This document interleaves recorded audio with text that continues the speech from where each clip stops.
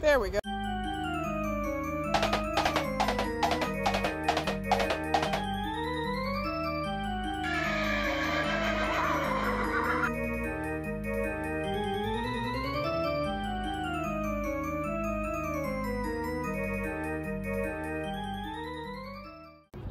Happy National Burrito Day.